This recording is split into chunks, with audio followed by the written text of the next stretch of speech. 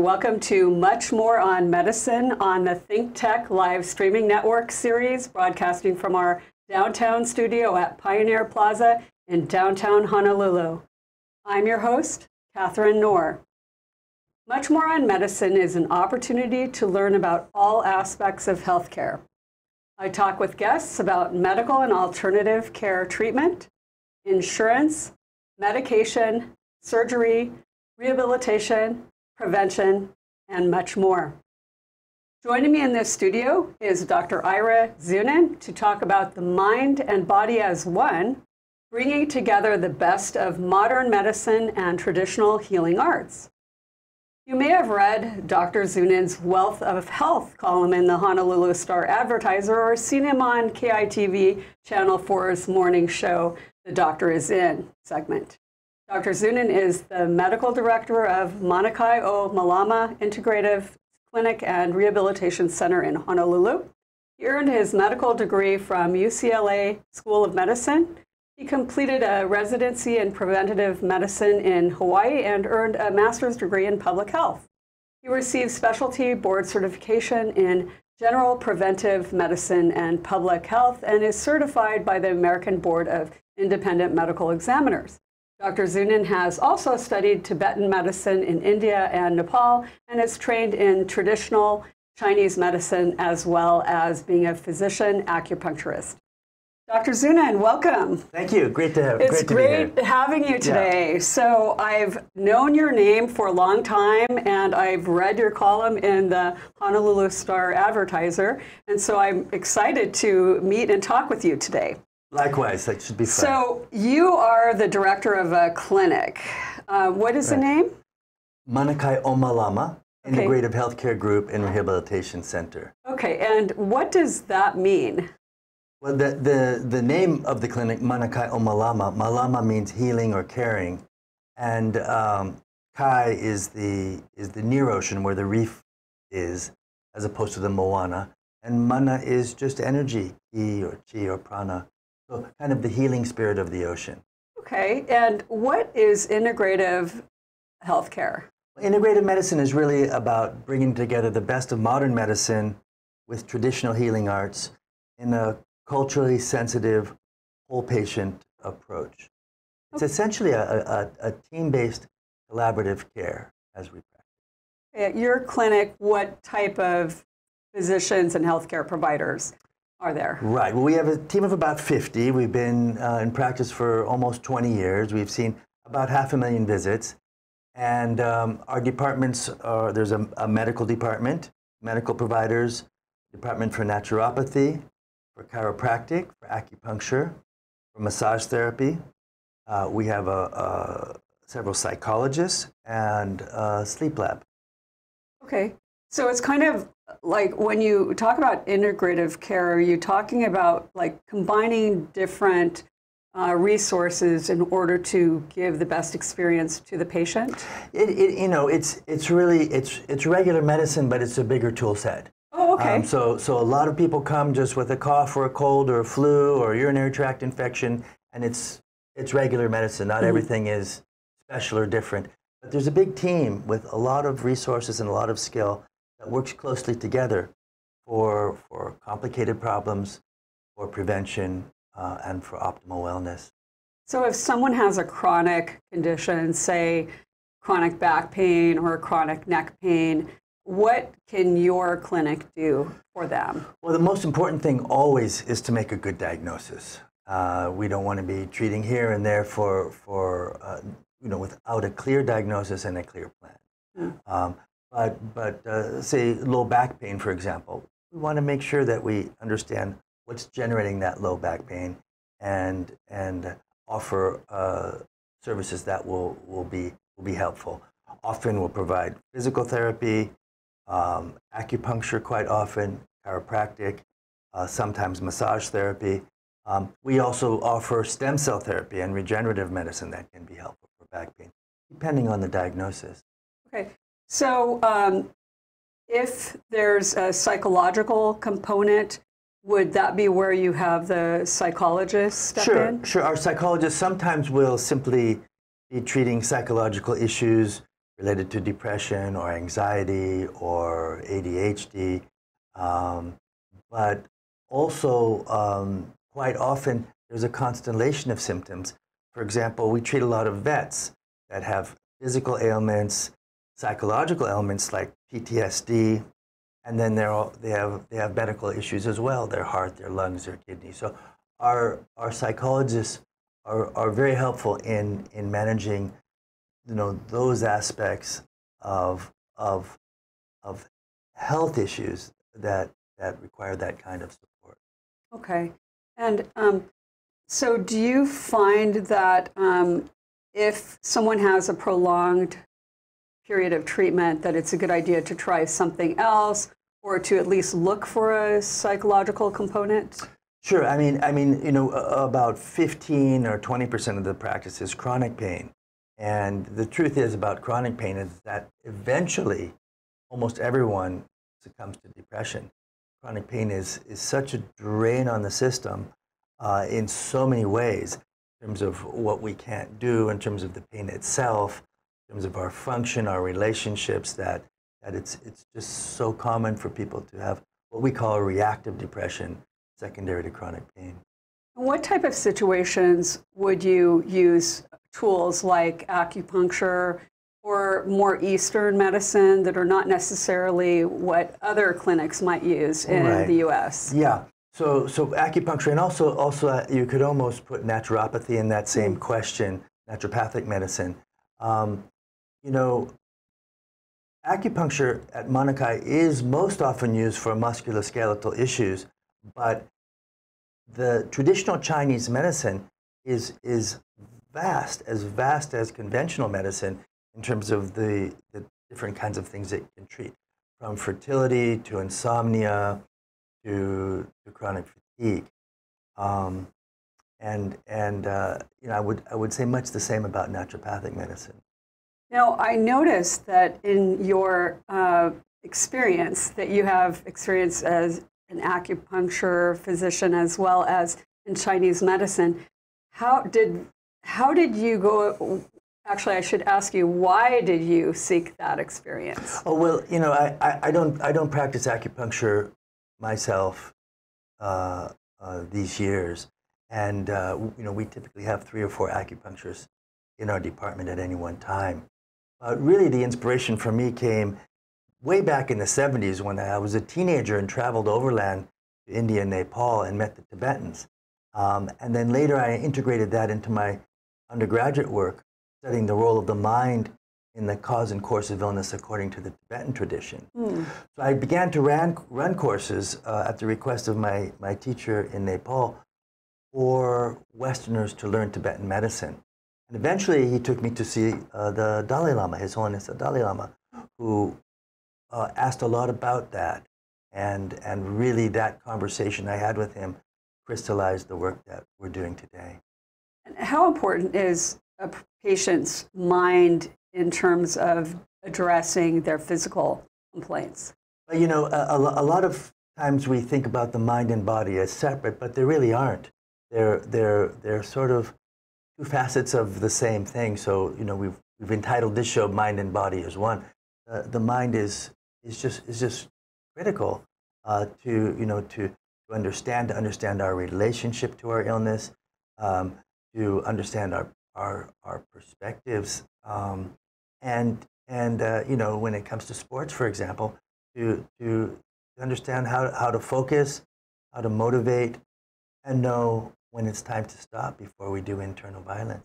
Okay, when. Uh, one time when I was training for a triathlon, I had low back pain, and I didn't have any serious diagnosis, no herniated disc or bulging disc. I knew it was more of a degenerative disc disease issue or just a musculoskeletal issue. Yeah. And rather than just stay home and sit on the couch with my low back pain, I went and ran really hard in a training workout, and it actually took my back pain away. Is right. that an example of of mind over body, or how would you address that? Well, I think I think you know that that's that's something that happens often enough that that we're stiff, uh, we're we're tired, we're we're we we feel defeated, and our back hurts, and we stay on the couch. Mm. But uh, we get up, we get moving, we, we get the, the blood moving, we, you know, it, we move through it. Mm. And, and, and that kind of, um, that kind of psychological motivation is helpful. But not all the time. There sure. are those times where, where we think that we can just overpower our bodies and it will tell us that we can't. And one of the signals that we're getting that there's something wrong is pain, right? Sure. But, uh, you know, the, the, the interesting thing about pain when it comes to musculoskeletal issues, or muscles, our bones, our sinews, is usually we can trust how we feel and not worry as much about the MRI or the x-ray, um, which is different, right? Very different than if we have high blood pressure or diabetes or cancer. It doesn't really matter how we feel. We need to take care of it. Those are silent mm. killers. Okay. So is it, I, I've heard that our bodies love movement.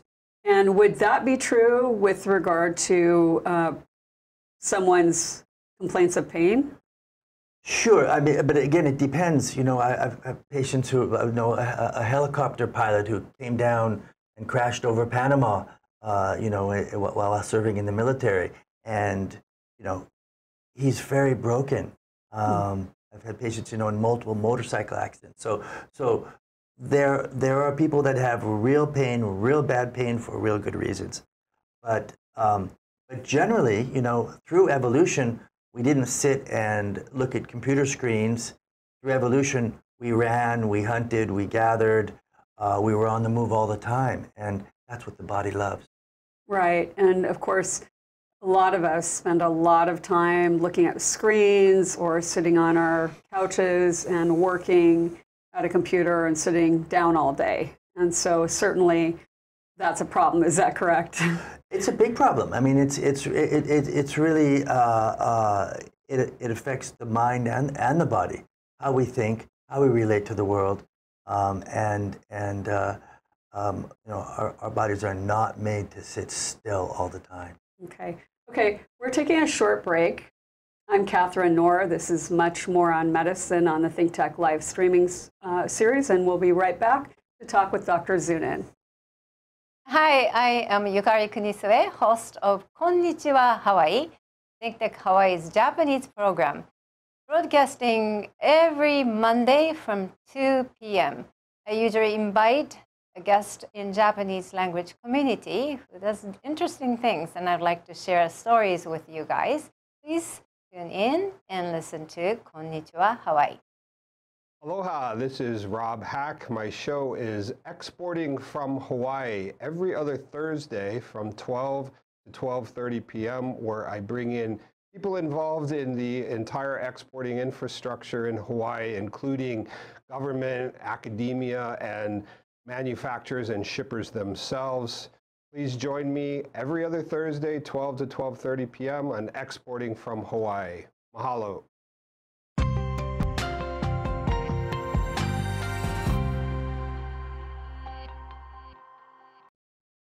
We're back. We're live. I'm Katharine Nohr, and this is Much More on Medicine on the ThinkTech Live Streaming Network series. And we're talking with Dr. Ira Zunin about the mind and body as one, bringing together the best of modern medicine and traditional healing arts. Doctor, does your integrative approach help for preventive medicine? Sure. Uh, you know, I'm, I'm board certified in preventive medicine, and really, really, uh, you know, where where we where we want to start is a healthy lifestyle, a healthy approach to taking care of our bodies um, to prevent, prevent illness. And then the next step is to be screening for those things that we know inevitably happen to people over time. Um, and the third part of prevention is once something has happened, once there's been a health event, how do we do our best to restore, uh, restore health?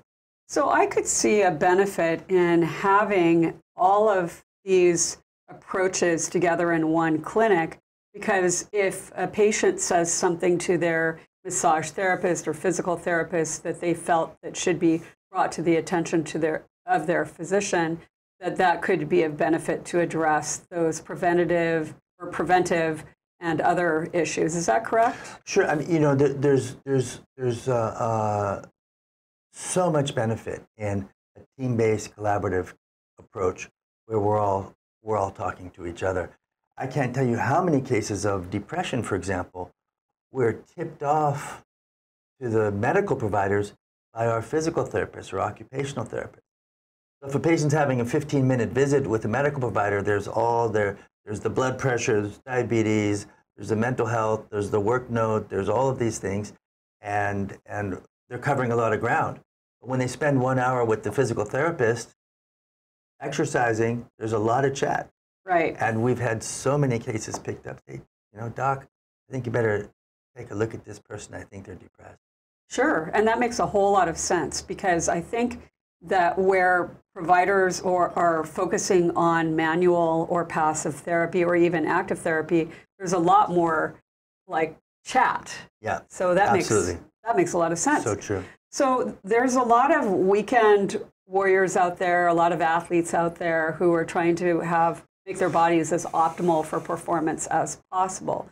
Does your clinic have a role in doing that? Sure, sure, absolutely, we do, and and um, we we spend a lot of time on that. Um, I'd say the most important thing for a, a weekend warrior is when you first decide to come one after become one after having been quite sedentary and not really managing health or diet and picked up a few pounds. It's important to get checked out to be sure that um, that there's nothing that, that would make sudden you know you know uh, uh, uh, cardio uh, dangerous. Uh, it's important to know. It's important to ease into it. And one of the one of the really big aspects of being successful is um, is to pick something that's fun, doable, and works in your schedule. Okay. Lots of people make big ambitious decisions like I'm going to do this, but but without without bearing those things in mind, they don't last. Well, you know, um, that's interesting you say that because about a year and two months ago, I decided I would start going to 24 hour fitness classes and just dove in and I wrote on my calendar an X for every class I did. And I did 200 classes for the year and then very successfully enjoyed it and focused on combat, body combat, and then really started loving Zumba. And so this year, now I'm adding an extra class. So now I'm doing doubles. But it was interesting because last night another person in my class that did a double, did combat, and then did Zumba, she mentioned that she was having sciatica. And so off off camera, we were talking about how um, sometimes you need to adjust the way your body is when you do kicks or whatever. Can you comment on that? Because it seems to me that athletes and weekend warriors could benefit from learning kind of how their body should be when they do certain activities. Right. I mean, I think what you're talking about is, is generally in, under the rubric of what we call mechanics Mhm. um, and, and, and kinetics. So, so the, you know, the, the abdomen is like the, the computer. I, I've been doing martial arts for many years. The abdomen is, is, is sort of like, like our computer. It, it's how we communicate with between our legs and our chest and our arms, our pelvis, you know, pelvis to our torso. And, um, and so that's, uh, you know, a lot of people are dialed in the core strengthening. But even that sciatica we talked about, if the, if the feet are out this way when you're doing something, there's a lot more pressure on those little butt, muscles on the side of your butt. If you bring the toes in a little bit, it unloads those muscles and puts them on the, on the big, strong thigh muscles to, to prevent sciatica. So that's that's a very important distinction in body mechanics that you wouldn't know unless you talked to an expert. Is that right? Right. Well, our, our physical therapists work work quite a bit with that. Our, our chiropractor would be would be dialed in, and, and a number of our medical providers. So, yeah, we, we, we try to help out, uh, and and and you know the the key is to really meet people where they are. so okay. sometimes we have somebody who's sedentary, gained a few pounds, been eating a lot of fast food. Sometimes we have very you know very high end athletes that are looking to get a little more performance out of their system. I see. And let's bring up the Taekwondo picture. So, is this you? That's me. Okay, and is that your son? That's my son Brandon. Yeah. Okay, fantastic. And and I looks like you have a black belt. Yes, I've been, I've been training for quite a few years. Okay, and so uh, how many years have you been I, doing? this is my 44th year training. Fantastic. Yeah. So what type of what do you have to do in order to be in shape for 44 years to perform in Taekwondo at that level? Well, I think, I think you know, for, for any type of, of, of uh, rigorous, uh, you know, kind of high performance athletic activity, you need to have a combination, it's a triad of strength, of flexibility, and of cardio. And usually Americans focus on strength and cardio and forget about the flexibility training. Right. Um, so I've been doing yoga as long as I've been doing taekwondo, and and that's been critical to to maintain flexibility. Um, but but that's really that's really the, the three legs to the stool. Okay, let's pull up the uh, yoga picture. Okay, and again, you and your son. Um, wow, it looks like you can bend very far. you look very flexible in that picture. Um, how long have you been practicing yoga? Well, actually, I, you know, uh, uh, when I first went to India as a, as a teenager, so this is 44 years ago, the same year I took up uh, martial arts, yoga, and meditation, and, and I've and I've managed to continue to, to practice those three those three arts um, since then, and um, so that would also be a good 44 years ago. Do you think that integrating yoga and meditation in one's healthcare regime would help um, someone either improve their condition or prevent problems? Well, absolutely. I mean, one of you know one of the big, big you know from the standpoint of yoga, um, you know one of the one of the things that happens is our healthcare system is able to keep our heart and lungs and kidneys and so on going longer and longer and longer. And if we don't have the flexibility, what we find is we get very old. We live, a- you know, we we we have good longevity, but we're living in jail Mm, our bodies are stiff and you know we don't have the flexibility we don't have the mobility we we have pain and it's it's kind of like well i've made it all these years but i'm kind of in prison mm. yoga can prevent that Okay, so yoga is uh, like freedom if someone practices it regularly and gains that flexibility, right? absolutely i mean I, you know I, I wrote a i wrote a book called the practice of freedom and and to me you know to me freedom you know the, the, the practice of freedom is really is really that practice of of of of, of yoga and meditation Mm. and and for me personally the uh, martial art Okay, and so let's bring up the next picture of uh, the diving. Okay, and so is that you? that's me there that actually that picture um, I, I think was published in uh, national geographic Mm. Um, that that's a, a, a scuba dive on the Great Barrier Reef um, as part of the the uh, worldwide voyage on uh, Hokulea and Hikianalia. Okay, and so I snorkeled at the Great Barrier Reef, and um, that was a neat experience. I can't even imagine going farther down and being able to actually see more fish because we didn't see that many fish from up so high. Yeah. Um, what kind of uh, health does one have to have in order to accomplish that? To scuba dive. Yes. Oh well, to scuba dive, you have to have healthy ears, hmm a good sense of balance, Okay. uh, the ability to control the, the, the, the breath, and then, and then generally decent health. I mean, when you're underwater, even though it's only you know 20 or 40 or 120 feet, um, it's kind of like being in outer space. Um, so, so, so there needs to be, um, you know, there needs to be a certain amount of body control, body awareness, and reasonable health. Okay, and let's move to the Hokulea uh, photo. Uh, tell us about this picture. That picture is also uh, part of the worldwide voyage. Um, that's also with my, my son Brandon, my younger son, um, and uh, and we are we are sailing there along the uh, along the Great Barrier Reef um, through the Torres Straits under Papua uh, to to Darwin. Oh, that's interesting. Were you? Did you have a medical um, capacity on that? Yeah, I, my, my you know there's there's usually on the on the longest voyages there's usually 11 crew, and there's 33, 34 kuleana, and one of mine was to be the medical officer. Oh. Uh, so I had had the opportunity to do the Great Barrier Reef. Um, also sailed from Cape Town to Brazil across the Atlantic, and from from New Zealand to Tahiti. And what are the concerns um, that you have to address as a medical officer on that voyage? Well, uh, it can be anything, and it, and the closest thing to to to, um, to you know to compare it to is really what we would call wilderness medicine. Mm. It's not emergency medicine because the ambulance isn't going to be there in 20 minutes. Um, so it ranges from seasickness, mental health issues, to heart issues, to trauma. Um, we we steer with uh, a sweep, a, like a almost a 20 foot hoy, and that is uh, you know extremely strenuous. So there's a lot of musculoskeletal stuff. Number one, seasickness.